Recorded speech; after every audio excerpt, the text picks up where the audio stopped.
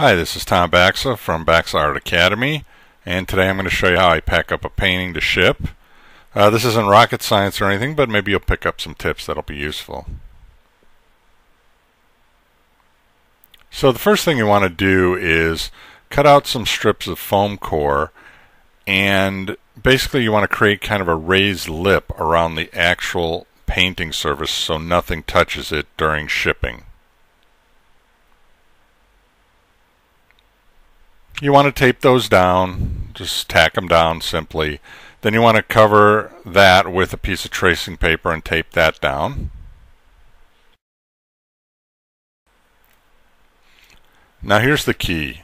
You want to cover your artwork on front and back with a sturdy piece of cardboard. Uh, I'm using foam core here. You can also use pieces of masonite uh, which is good for an expensive piece of art that you're shipping. You really want to just protect the artwork from getting bent the best you can. And I just use a little bit of packing tape and tape it up real well around all the edges. Keep it from slipping around too much in the packing.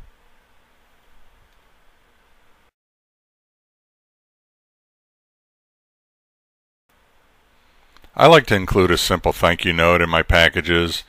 And since this is a magic card painting, uh, I like to include a signed artist proof, maybe some other free cards, and it's always a good idea to put some marketing materials in your package. This is advertising my art book and my website. You just put that in a little envelope and tape it to the package.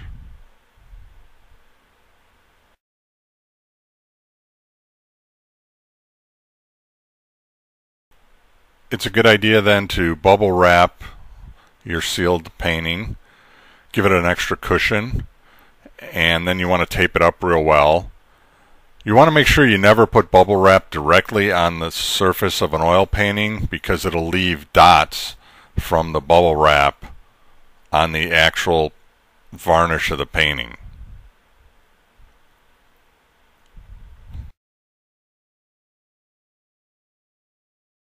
Once that's taped up real nice, I like to put the whole thing in some kind of plastic bag to protect it in case uh, when the package is being shipped it's raining or snowing. So this just waterproofs it a little bit. I just use cheap garbage bags. No sense in spending extra money on a fancy bag. None of this has to look fancy. You just want to make sure it's sealed up real well.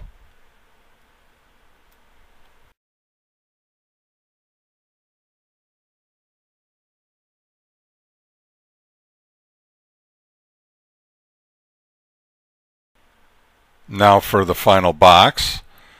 Uh, if the painting's small enough, I love using these FedEx boxes. They'll give them to you for free. Uh, if you're shipping UPS or postal, you can't use a FedEx box, so I turn it inside out and uh, do a little construction on it. First, I put a little strip of glue so it holds well. You have to do a little bit of work. Sometimes you have to cut off some of the cardboard flaps to get it to close up nice. You get the hang of it once you've done it a few times.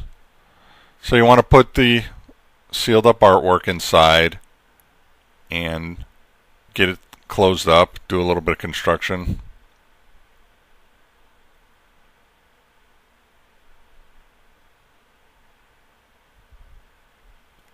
I like to use strapping tape here or monofilament tape it's also called because it's really strong and it holds well. So when I'm putting this box together it's nice to use the strapping tape. Once you get some of the major things put together, I also use duct tape uh, to finish it off or regular packing tape.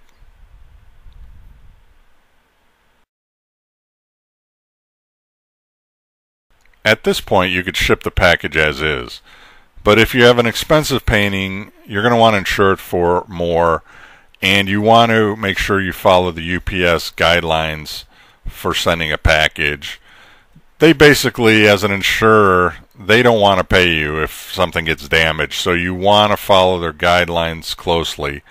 The first being you have to wrap the package in two inches of bubble wrap all the way around. So you want to get a little fatter bubble wrap and wrap it all the way around the package. And then you need to put it in a brand new box because they say old boxes don't have integrity and they could fall apart more easily. So you want to use a brand new box and make sure you stuff it nice and tightly with bubble wrap and then tape it up. I like to put fragile stickers on the outside of the box so hopefully the driver will be a little more careful with it.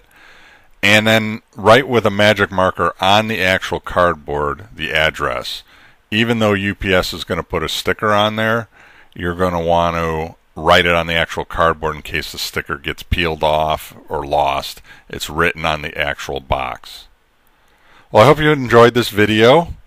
Again, like I said, it wasn't uh, rocket science or anything, but maybe there's some tips that you might not have thought of that'll really help protect your artwork when you're sending it out to a client or to a collector who's paid some money for it.